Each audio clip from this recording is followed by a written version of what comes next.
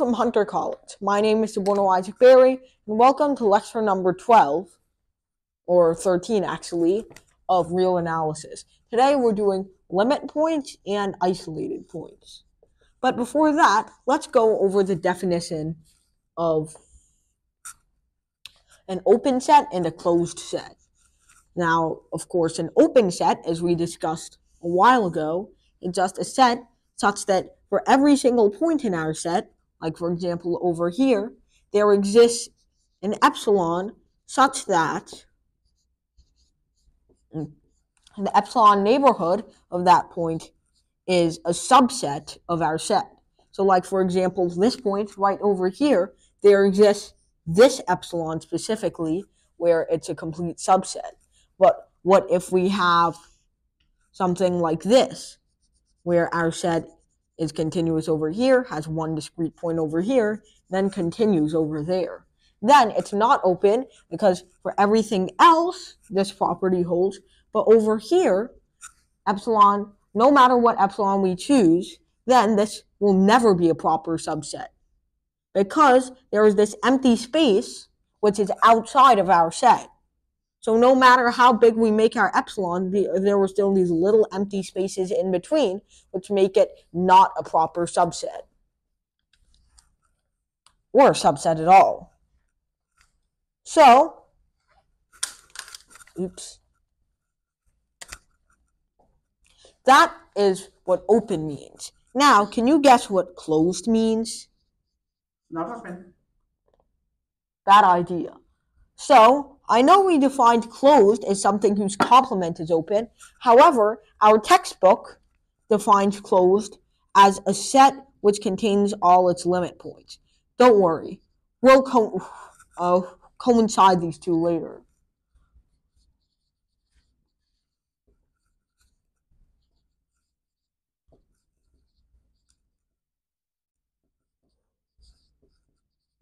And that later time has come because now we're going to show that a set which contains all its limit points uh, has a complement which is open. But first, let's talk about isolated points. What is an isolated point? Well, it's any point in the set which is not a limit point. So let's go over some examples. What about the set which just contains zero? So, what are the limit points here? Well, there are none, of course.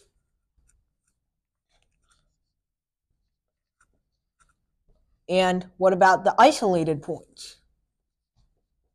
Well, an isolated point is any point in the set which is not a limit point. So in this case, it's zero. So what about a different set, like the rational numbers? What are the limit points? Well, you might expect it to just be q itself. However, think about this. A limit point is essentially the limit of a sequence which can be formed using the elements of our set. So, 1 is rational, right? What about 1 point, or rather, 3 is rational? What about 3.1? What about 3.14, maybe? What about 3.141? Still rational, right? 3141 over 100, 1000. All right, how about 3.1415? Let's say 31415 over 10,000. Oh, I forgot. It's not University of Pune. It's University of Mumbai. Oh, okay. What about 3.14159? Maybe or 3.141592 for being a little extra, or maybe 3.141596. And eventually, what do you think this is approaching? This is pi. Yeah, it's approaching pi. But all of these numbers are rational, right? So, that means that pi is a limit point, but pi is not included here.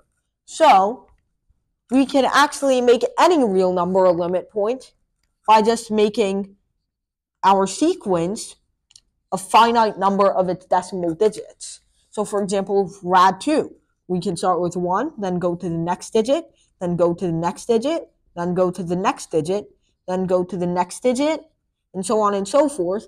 And we are still forming rational numbers. And so that means that every irrational number is also a possible limit point. But wait, adding these two together, this is just the real numbers. And what about its isolated points? Well, of course, since every single rational number is a limit point, there are no isolated points. Alright, so there are some examples of limit and isolated points. Now let's get to our first theorem of today, proving that our old definition, so let's say S is closed. That means that it contains every single one of its limit points. So then, prove that the complement of S is open. Figure this one out myself, because I apparently forgot to write it down, but prove that the complement of S is open. Alright, so this is going to be a proof by contradiction. So, let's say we have this closed set right here. Now, this is just a specific one, easy to visualize. Of course, a general closed set could be something way more different. But we'll just have this closed interval right here, and so the complement is going to be this obviously open set right over here, which is just a union of two each individually open sets. But how do we know that they are open? So that's what we're going to be doing right now, proving that they're open. So say they're not open. That means that there exists at least one x in this complement set such that for all epsilon, mm,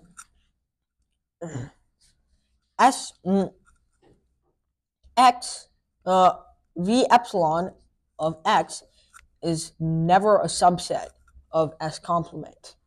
But wait, if it's never a subset of S complement, that means that there exists some epsilon, obviously positive, such that the epsilon of X is it must be entirely within